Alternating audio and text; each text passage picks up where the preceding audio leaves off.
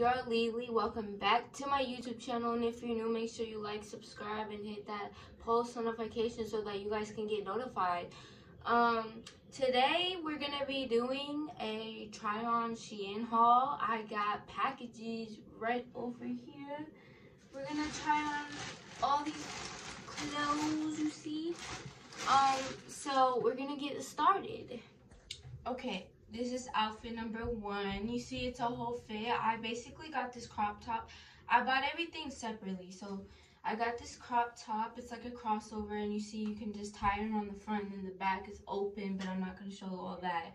And then I got like nude, uh, like brown neutral leggings to go with it. Then I also got this nice jacket in the size medium.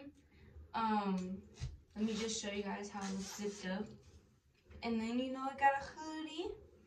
And I got it from Shein. And I really like this fit. Like, this is like the third time I've worn it. Not gonna lie to you. Like, I really like this outfit.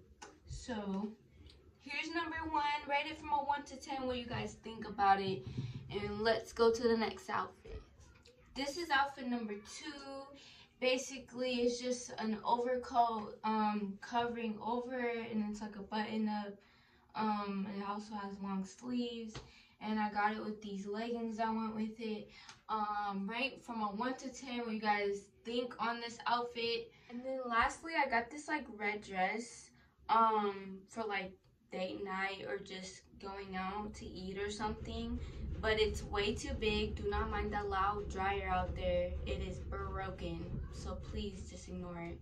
Um, so I had got this dress, as you can see, it's supposed to like cover, you know, your cleavage area.